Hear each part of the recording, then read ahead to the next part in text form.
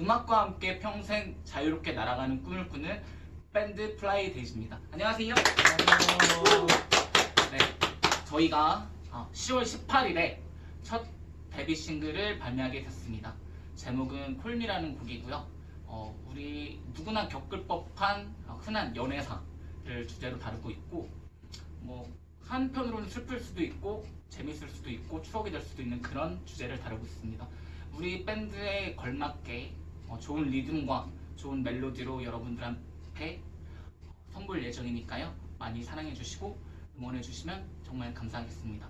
아, 저희가 또 다음 주 24일 날 24일 날 그 민사운드 스토리 어, 유튜브 방송이 있는데 그쪽에서 이제 또 몇 곡으로 라이브도 들려드릴 수 있으니까 그때 한번 또 찾아뵙도록 하겠습니다. 지금까지 저희는 플라이 데이지였습니다. 감사합니다.